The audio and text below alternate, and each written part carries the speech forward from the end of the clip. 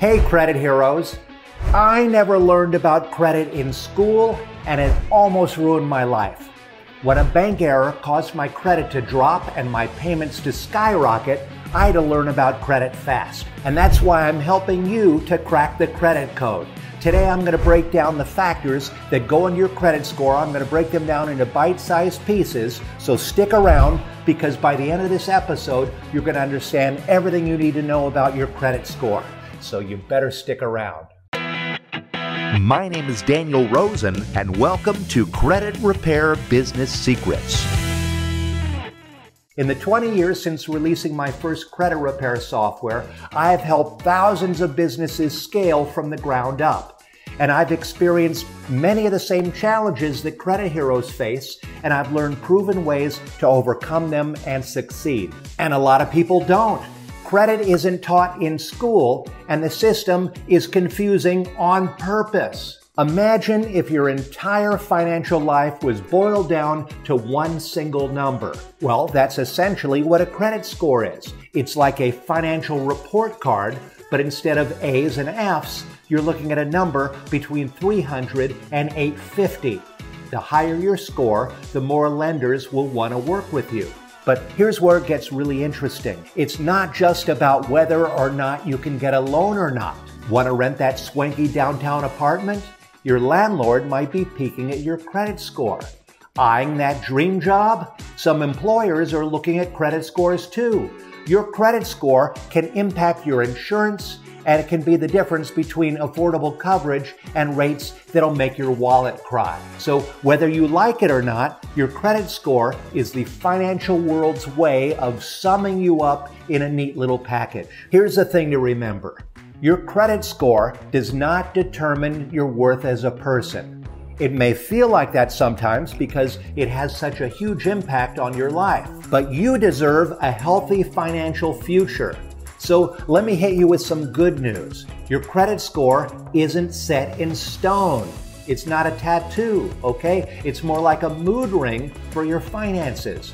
Your credit score is a living, breathing number that's constantly being recalculated by the three major bureaus, Equifax, Experian, and TransUnion, based on the latest information from your credit report. So, what is your credit report?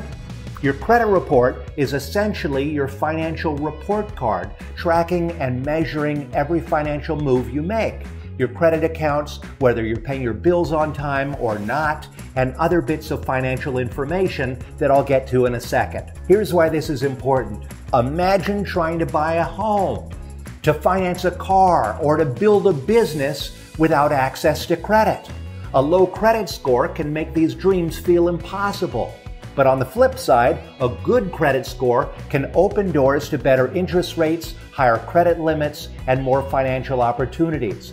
That's why understanding and improving your credit score is a game changer for your financial future. By understanding what goes into your credit score, you can take steps to improve it. And that's where the real magic happens. When you start seeing your score climb, you're actually watching your financial opportunities expand. Here's what you need to know your credit score is influenced by five main factors. Payment history makes up 35% of your score. This is the heavyweight champion of credit factors. It's all about whether you pay your bills on time every time. Lenders want to see that you are reliable. For example, let's say you have a credit card and a car loan. If you've never missed a payment on either of these in the last seven years, you're in great shape. But if you were late on your car payment three months ago, that's going to ding your score. Even one late payment can stick around on your credit report for up to seven years. So set up those automatic payments, folks. Credit utilization makes up 30% of your score. This looks at how much of your available credit you are using. It's like a game of financial limbo. The lower, the better. Here's a scenario. You have a credit card with a $10,000 limit. If your balance is $3,000, your utilization is 30%. And that's okay, but it's not great.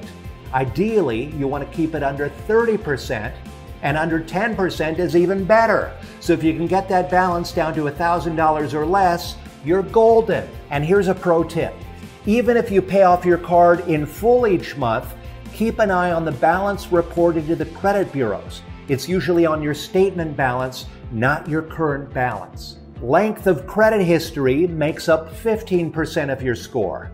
In the credit world, older is better. The longer you've had credit accounts, the more data lenders will have to assess your credit worthiness. So let's say you're 30 years old and you've had a credit card since you were 18. That is 12 years of credit history. Nice.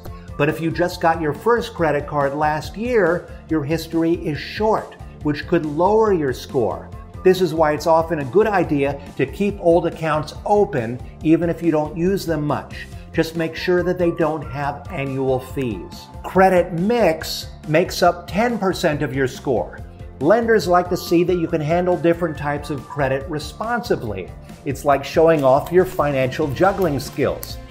Having a mix of revolving credit, like credit cards, and installment loans, like a mortgage or a student loan, that can be good for your score. But don't go applying for loans that you don't need just to improve this factor. It's more about managing the mix that you naturally acquire over time. And finally, new credit makes up 10% of your score. Opening several new accounts in a short time can be seen as risky behavior. It's like suddenly buying a bunch of new outfits. Lenders might wonder if you're trying to impress them for a reason. Let's say you apply for three new credit cards in one month. Each application typically results in a hard inquiry on your credit report which can lower your score slightly. Plus, it reduces the average age of your accounts. So space out those applications and only apply for credit that you really need. Understanding these factors is key to improving your score. And if you want to dive deeper into this, I've got just the thing for you.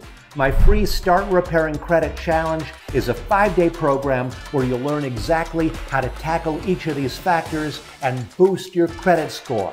And the best part is, it's completely free. So sign up right now at startrepairingcredit.com. And here's my final point. Your credit score is a powerful tool in your financial arsenal. By understanding it and taking steps to improve it, you're setting yourself up for a brighter financial future. And remember, if you are passionate about this stuff like I am, you might even consider turning it into a business. My upcoming webinar will show you exactly how to do that, how to use your knowledge to help others and build a thriving credit repair business. And I'll end by saying if you want to learn more about credit repair, check out Credit Reports 101.